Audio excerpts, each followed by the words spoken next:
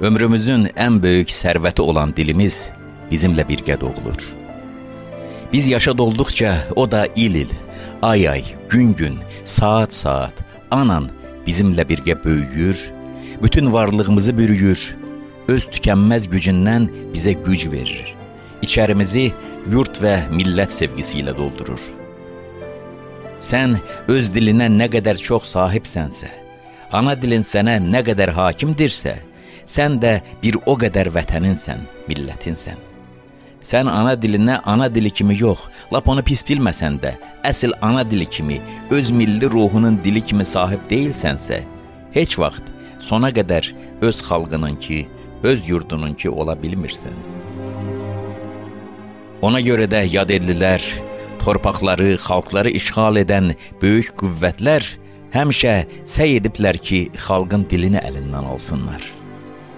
Çalışıblar ki, onu tam məhv etməyi bacarmasalar belə, heç olmazsa ana dilini küncə sıxışdırsınlar, ikinci dərəcəli eləsinlər. Çünki biliblər ki, bir xalqı rəzil etmək üçün, bir xalqı əsir etmək üçün, əridib başqalaşdırmaq, iradəsiz eləmək üçün, onun ərazilərini fəth etmək hələ azdır. Gərək onun ruhunu zəbt eləyəsən. Bu isə dildən başlanır. Dil güclüdürsə, milli ruh yenilməzdirsə, bütün əraziləri illərlə başqalarının təcavüzünə uğrayan xalq qətiyyən məğlub olmur. Gec-tez öz torpaqlarına sahib çıxır. Lakin dili əlindən alınınca xalq asanca tarix burulğanlarında sovrulub məhv olur.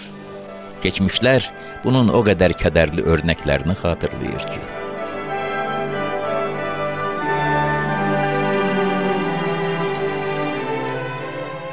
Milli dil sadəcə danışdığımız, yazdığımız, adicə sözlərdən ibarət dil deyil. Həm də onun daşıdığı ruh, əhatə etdiyi dəyərlərdir. Milli dil əxlaqımızdır, adətimiz, ənənəmizdir. Milli dil məhz özümüzünki kimi ifa etdiyimiz muğamımızdır, tarımız, kamanımızdır. Milli dil rəqsimizdir, el havalarımızdır, xalça palazımızdır, tikmələrimizdir, naxışımızdır. Milli dil sırf özümüz kimi tikib ucaltdığımız qalalarımızdır, abidələrimizdir, yaşayış məskənlərimizdir. Bizi biz eləyən bütün mənəvi gözəlliklərin toplusudur.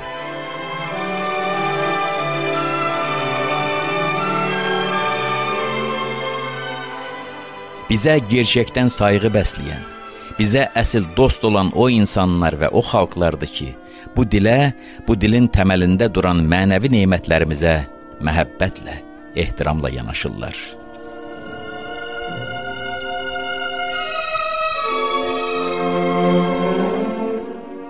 Bu bir hədisdir. Dünya tarixinin ən böyük qurucularından biri Məhəmməd peyğəmbərə aid edilən sözlərdir. Rəsul əleyhissalam söyləyib ki, mənim Türk adlı bir ordum vardır. Türklər sizə toxunmayınca, siz də onlara toxunmayın. Türk dilini öyrənin. Çünki onların hakimiyyəti uzun sürəcək.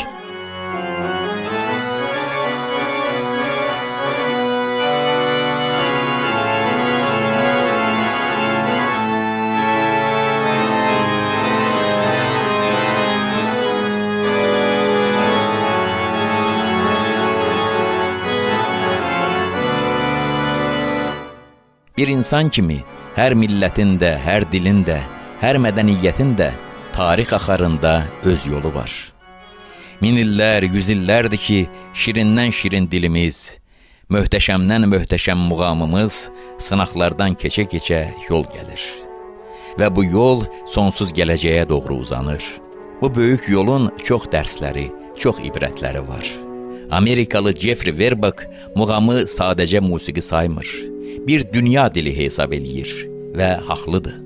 Dünya və insanlıq bu həqiqəti anlasa ki, əslində bütün bəşər övladının ortaq olan bir sərvəti və bir dili var ki, o da mədəniyyətdir. Onda nə qanlı savaşlar olardı, nə qırğınlar düşərdi, nə də qarşı durmalara yer qalardı. Belə olarsa, insanoğlu əbədi sülh içərisində yaşayardı. Nə qədər əl çatmaz olsa da, hamımızın ortaq yuvamız, kainatın qoynundakı bu balaca, bu mehriban, bu doğma yer kürrəmizin haçansa o məsud günlərə çatmasını arzulayaq.